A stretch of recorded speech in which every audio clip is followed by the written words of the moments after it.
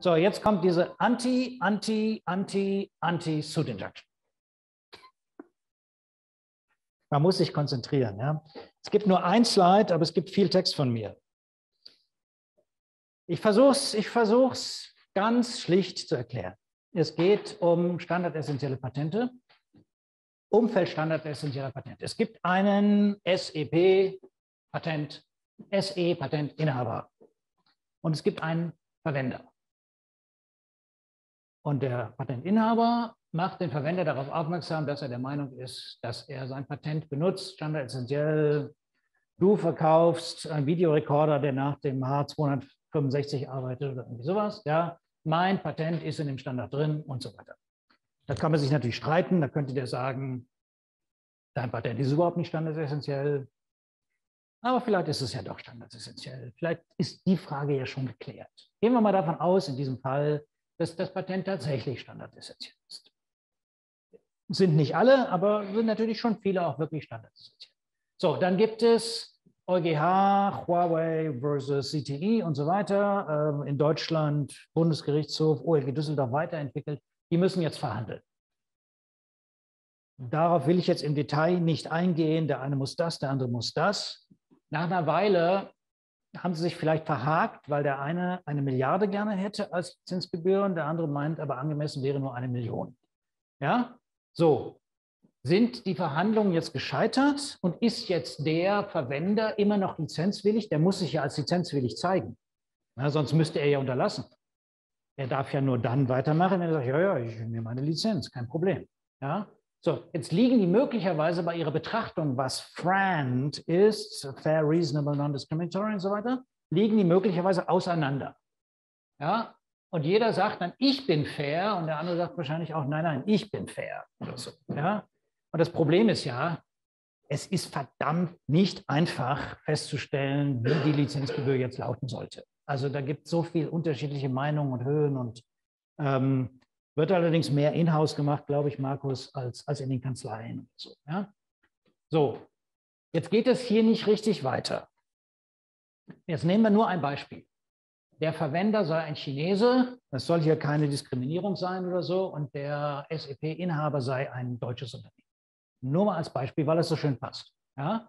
Dann geht der Chinese hin und verklagt den Deutschen auf vor Gericht in China mit irgendwelchen Tochterunternehmen und so weiter, ja, auf eine Reasonable Royalty. Lässt in China vor Gericht eine Reasonable Royalty festsetzen. In der Hoffnung natürlich, dass er in China irgendwie mit drei Euro davon kommt. Was äh, sein kann. Ja? Ähm, so, das gefällt dann natürlich dem nicht und der erhöht jetzt auch den Druck, weil es hier nicht weitergeht. Erhöht er den Druck? Achso, ja, sorry, das war USA oder China. Ja. Äh, der erhebt jetzt Verletzungsklage. Das muss ja noch nicht das Ende der Verhandlungen sein. Ja, in der Verletzungsklage kann der Verwender ja immer noch sagen, wieso, ich bin doch lizenzwillig und ich habe doch alles getan, was ich tun muss. Ja, die Verletzungsklage natürlich in Deutschland. So, jetzt gibt es im amerikanischen, im Common Law und auch in China die Möglichkeit für den Verwender, dem SAP-Inhaber diese Klage zu verbieten indem er nämlich eine, sich eine Anti-Suit-Injunction in China holt. Ja, diese Anti-Suit-Injunction ist gegen den SEP-Inhaber gerichtet, nicht gegen das Gericht. Äh, das Gericht, das kann man natürlich nicht machen. Ja. So, wenn du, wenn du SEP-Inhaber diese Klage nicht zurücknimmst und weiterverfolgst, äh, zahlst du ein Strafgeld in Höhe von 100.000 Euro pro Tag. So, das ist in China zulässig. Das ist aber in Deutschland und Europa nicht zulässig. Also ist der Patentinhaber nicht faul, geht zum Gericht und holt sich eine Anti-Anti-Suit-Injunction. Wenn du, Verwender, es wagst, gegen mich dieses Strafgeld durchzusetzen, kriegst du genauso ein Strafgeld von mir. Das ist absolut korrekt, wurde auch, ich glaube, in jedem Fall gewährt. Ja, denn es ist mit dem deutschen Rechtsverständnis nicht vereinbar, eine Anti-Suit Injunction, ein, ein Prozessführungsverbot. Das gibt es nicht. Das gibt nicht nur in Deutschland nicht, es gibt es in Europa nicht. Ja, jeder darf jederzeit vor Gericht gehen und es ist dann Sache des Gerichts zu sagen, ja, Moment mal, ja, also so geht es aber nicht und so weiter. Ja? Aber ein Prozessführungsverbot gibt es nicht. Es gibt ein Prozessführungsprivileg. So, dann sagt der aber, doch, ich darf das. Ja, lässt sich von seinem chinesischen Gericht bescheinigen, dass er das darf und dass der Patentinhaber das Strafgeld aus der Anti-Suit-Injunction gegen ihn nicht durchsetzen darf. Daraufhin sagt er natürlich, nee, das darfst du auch nicht und ich darf. Und das ist die Anti, Anti, Anti, Anti-Suit-Injunction. Ja, und in dem Moment haben natürlich alle das Gefühl, irgendwie äh, ein bisschen bescheuert. Also, hm, das kann es irgendwie nicht. Bitte? Ähm, ich glaube, hoch 4, ja, hoch 4, ich glaube, weiter sind sie noch nicht gekommen. Hoch n, ja, dann vollständige Induktion, n plus 1, ne?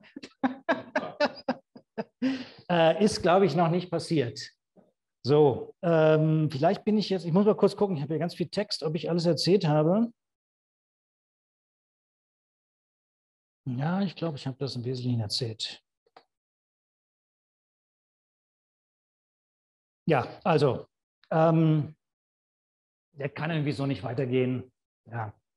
Die EU-Kommission hat jetzt China vor der WTO verklagt, wegen dieser Geschichten hier. Ja. Äh, weiß nicht, was da rauskommt. Ach ja, genau. Ja, da gibt es noch einen Trick. Das Landgericht München I hat jetzt einen anderen Weg beschritten. Die haben gesagt, hier im Verletzungsprozess, wenn du eine Anti-Suit Injunction beantragst, betrachte ich dich als nicht mehr lizenzwillig.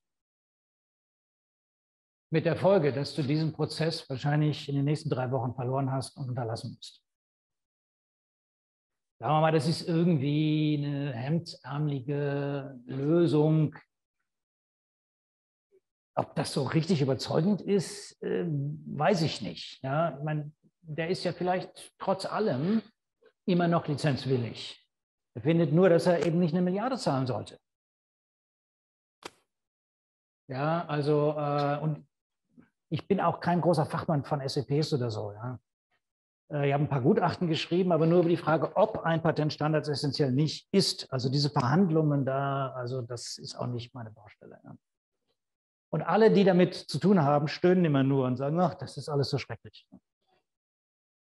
Na gut, das Landgericht München hat jetzt also hier eine Abkürzung gefunden. Ja, äh, da kann man sich die Stufe, die Stufe und die Stufe sparen. Sobald der da anfängt, hat er hier verloren. Ja. Ähm, geht sogar noch weiter. Der Patentinhaber darf den Verwender fragen, ob der Verwender beabsichtigt, eine Anti-Suit-Injunction zu beantragen. Antwortet er mit Ja, hat er dann hier gleich sofort verloren. Antwortet er nicht, hat er hier auch sofort verloren. Ja, also, okay. Also das ist äh, Anti, Anti, Anti, Anti-Sud.